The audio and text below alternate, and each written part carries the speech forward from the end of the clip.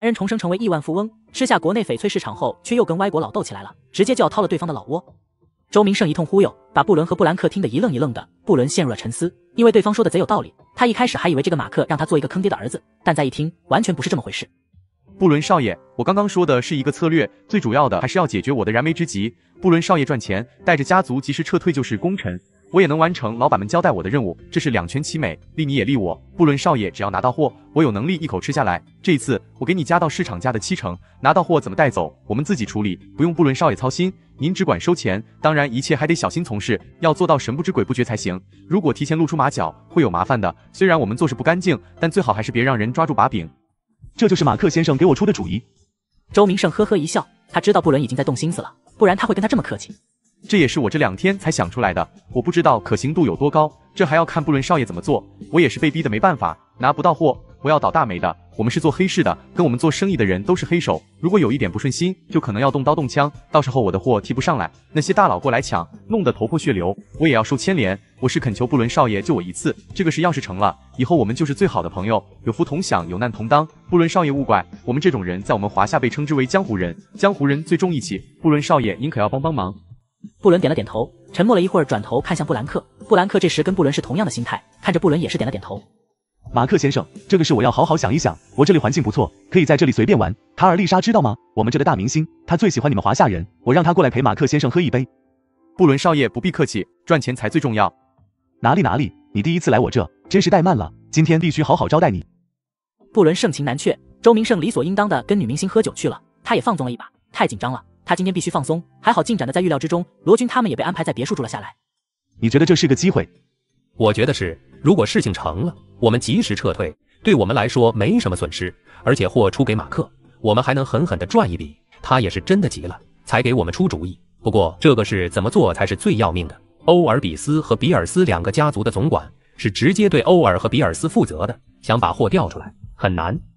好好想想，怎么才能把货赚出来？还有人工钻去哪里找？要去华夏买吗？马克不就是华夏人吗？既然他有计划，回头我们一起问问他。行。这会儿周明胜趁着去洗澡的功夫打了个电话，放纵归放纵，他还是先找机会给路飞汇报情况。陆哥，这么久了还没消息，他们不会嘎在里面吧？不会，估计这会儿应该在胡吃海塞。他们可比我们好过多了，说不定还有美女作陪。真的假的？路飞笑了笑，没说话。他让周明胜去说的话，他知道布伦他们没理由拒绝。只要不是还没开口就被人嘎掉，就一定不会有事。而且布伦还会把周明胜奉为座上宾。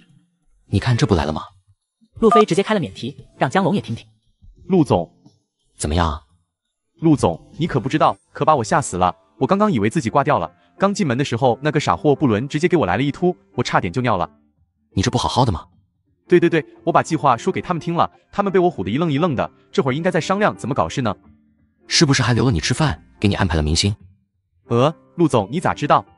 我还以为你们嘎在里面了，正准备一炮轰了这里，结果你们在里面和明星玩游戏，我和陆哥还在外面啃面包呢。不是不是的，龙哥，他们硬塞给我的。玩归玩，但要做正事。我知道了，陆总。听着，他们问你，你就想办法给他们出主意。如果要人工钻，我这有大把的。陆总，你已经准备好了？当然。行，回头看看他们怎么说。不说了，陆总，时间长怕被发现。悠着点啊！我知道，我知道。走吧，我们也回了，困死了。就在今天凌晨五点，码头发生了一宗走私案，一伙人偷运了十公斤的钻石，准备出港，被海关抓了个正着。安排这个事的自然是皮尔，而那一伙人直接供出是卡姆威廉姆斯想要逃税，他们只是干活的。凌晨六点，警察将卡姆的别墅围了个水泄不通，拿着逮捕令直接将卡姆扣押，而且拒绝担保，这是明摆着有人要搞他。事实上也的确如此，光凭一张嘴就能拿到逮捕令抓人，没有这种事的。卡姆被捕。杰姆急忙的去上下打关系，看看能不能把人弄出来再说。卡姆被抓了。是啊，我们要不要做点什么？什么也不用做，这不正好吗？欧尔比斯的人都在琢磨着怎么搞卡姆两兄弟，注意力不在内部，正好给布伦他们创造机会。倒也是，不过得给杰姆去个电话，让他宁死不从。谁懂鸟语的？呃，陆哥，咱们这伙人里只有周明胜。我 C 的，真的要去学一门外语，不然都不知道怎么沟通。特奶奶的，学习这种事我就帮不上什么忙了。正到路飞郁闷的时候，他的电话响了起来。路飞掏出来一看，是乔秋明的电话。速度这么快，货都准备好了？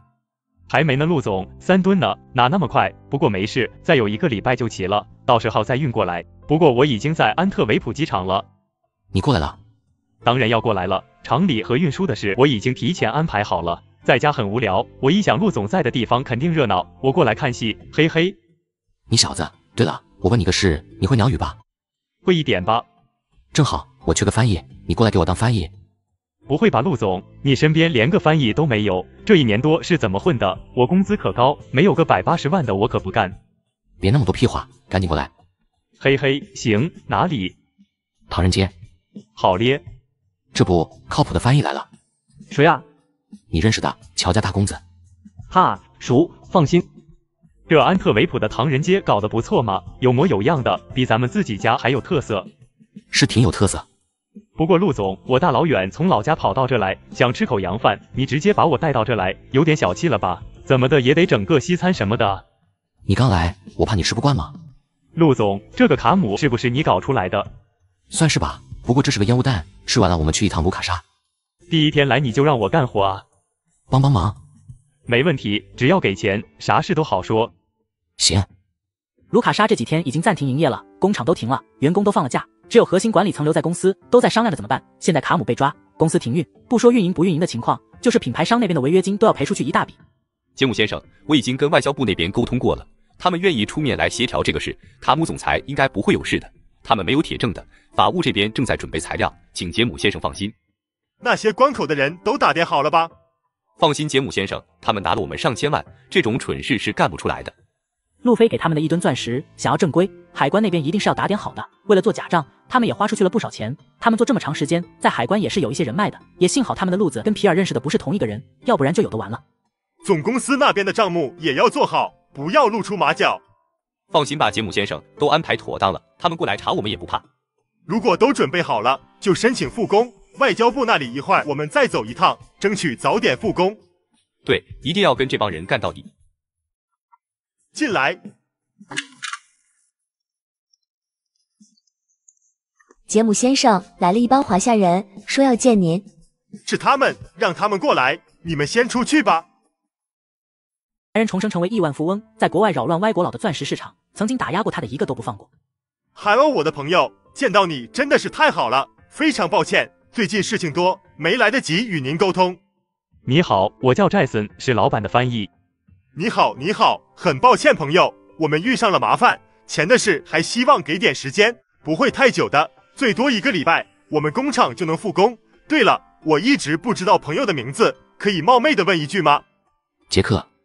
我老板叫杰克，不过这不是一个有趣的话题。杰克先生想知道你们接下来的计划能不能摆平这次的危机，后续对出货的影响有多大？还有跟你们公司合作的加工厂还能招揽几个回来？如果没有工厂跟你们合作，你们的出货效率将会非常差。这是杰克先生的顾虑。请杰克先生放心，就算没有工厂与我们合作，我们也能高薪聘请自己的师傅，他们能遏制工厂不与我们合作，但却没法遏制员工。安特维普这边的师傅很实在，一般都是谁给的钱多去谁那里。我们正在大量的招工，我们正在跟外交部沟通，申请复工，最迟一个礼拜就能有结果。欧尔比斯的人虽然霸道，但在明面上不能不讲规矩。安特维普的司法部门也不可能因为欧尔比斯而失信于大众，他们的正面形象需要维持，毕竟欧尔比斯也是外来户。请杰克先生放心，一个礼拜之内我们一定正常复工，中间的损失与杰克先生无关，到时候出了货。我们还是会将钱如数奉上。你还是不要掉以轻心，他们会来一次就会有第二次，这只是小试牛刀，不要被人抓住把柄。放心，杰克先生。接下来的时间，你可以给金钻降降价，把价格给打下来一些，这样可以继续分割欧尔比斯的市场，多跟品牌商合作。如果有些难缠的品牌商，可以把毛钻放给他们一些。放毛钻？对，放毛钻，不然你拿什么稳定那些品牌商？抢生意就是这样的，看谁让利让的多。我给你的货还是用七成的价格算给我。我怕这价格打下去之后很难涨上来。价格打下来，也总比一辈子被欧尔比斯压着的舒服。你尽管出货，后续我会给你支援。我在比利时也有一些关系，你大哥那边的事我会帮忙打招呼。放心，他不会有事的。当然，你们自己该做的工作还是要做。明白了。你跟比利时的高层还有关系？认识哪个大人物？超级人物不可透露。你就吹吧，我看出来了，杰姆这两兄弟就是个枪杆子。你要是认识比利时的高层，我头都给你拧下来。啧，你这孩子看破不说破。看来这场戏有点好玩，看着就行了呗。欧尔比斯和卢卡莎杠上了，行业里的人都议论纷纷，诸多品牌商因为害怕这两家打价格战，也不太情愿跟卢卡莎走得太近。不过当杰姆找上他们的时候，不少人都狐疑了起来。继续履行合同没什么问题，人家还同时带着卖毛钻，虽然量不大，但这玩意给他们就是钱，相当于送钱给他们的。品牌商也很诧异，他们感觉卢卡莎这是要拼了，连毛钻都拿出来了。不过欧尔比斯不想打，因为无论卢卡莎怎么捣乱，他们欧尔比斯才是行业大户，如果打起来，他们的损失非常大。哎，真不知道有什么好争的，一起赚钱，他不香吗？谁知道呢？不过这是个机会。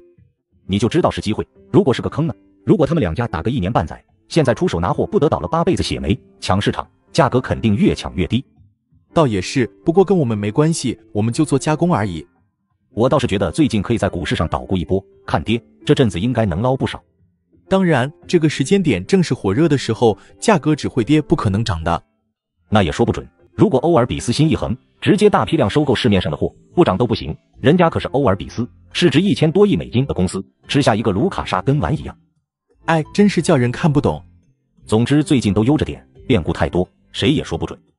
远在安特维普的欧尔比斯出事了，而华夏这边有心人议论了起来，很多人都在想。应该是那个男人回来报仇了。最近的珠宝界生了太多的事，先有玉石一嘎三伤，再有钻石行业，涉及到的人都跟路飞有关系。不过话说，欧尔比斯的强大绝不是玉石行业四巨头可以相比的。可想想也不是不可能，连缅政府都被搞了，还有什么事是他不敢干的？于是乎有一个言论，那个男人真的没嘎，时隔一年多回来报仇了。一时间，华夏的众多钻石品牌商都开始隐隐担心起来。本来他们对于外界的言论都只是稍微的怀疑，而他们听闻安特维普的事，这种怀疑性越来越大了。当时路飞会被移交国际法庭，国内的钻石品牌商是帮了大忙的，他们多多少少跟路飞都有仇。如果不是他们，路飞也不至于走投无路。现在人家回来报仇了，谁都站不稳。再想想周庆生和吴兆宏他们的下场，一时间人人自危。陆总，你又成名人了，挺有意思，不少人可都被你吓破胆了。不是，是他们自己觉得做了亏心事而已。你真打算一锅端啊？再说吧。周明胜那边还在找机会，想要真正的为所欲为，还得把人工钻送进 CSO 的总库。不知道那两个傻子会不会想到这个事跟我有关？如果他们怀疑的话，事情可能还得麻烦一点。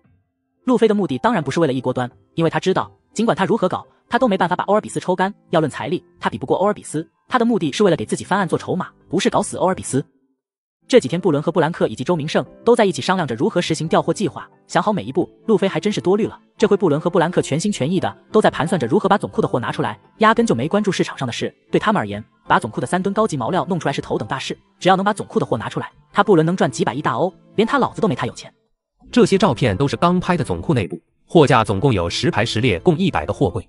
照片里只是其中一个库，整个总库有三百个这样大小的库，蓝白钻从外到内。越往深处等级越高，T 一级的蓝白钻在最里面，一个库大概能放五到六十公斤，中围的是 T 二、T 三，外围的才是 T 三以下，货都是统一放置。我大概算了一下，大概有七百公斤 T 一级的货，T 二的大概一千公斤，T 三大概一千五百公斤，还挺多，多是很多，但怎么拿到才是最大的难题。布伦少爷以前摊的货都是在进总库之前拦下来的，总库里的货是拿不走的。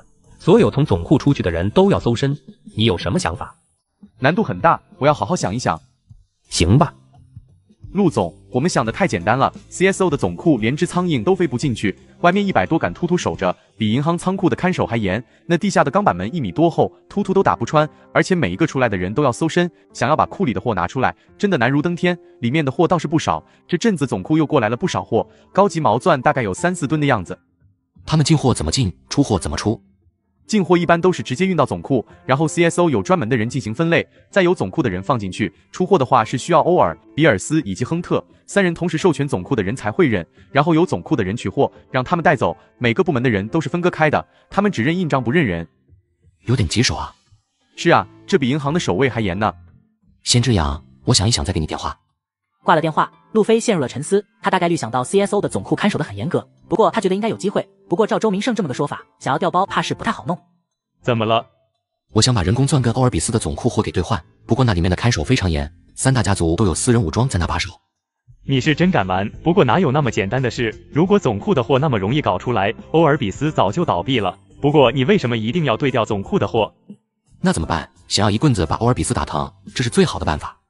我的意思是，既然布伦有能力在进总库之前拿到货，那也可以在总库外调货啊。以前他就顺手牵羊牵一点，现在直接全牵走不就行了？人工钻混进 CSO 总库，这恐怕足够欧尔比斯吐血的。反正矿场的钻石会源源不断的过来，还不够搞事的。好主意啊，你咋不早说？你也没问我啊，不过就是不知道布伦那个败家子能不能搞定，说不准进总库的时候会上仪器检查，如果查出来就不大好了。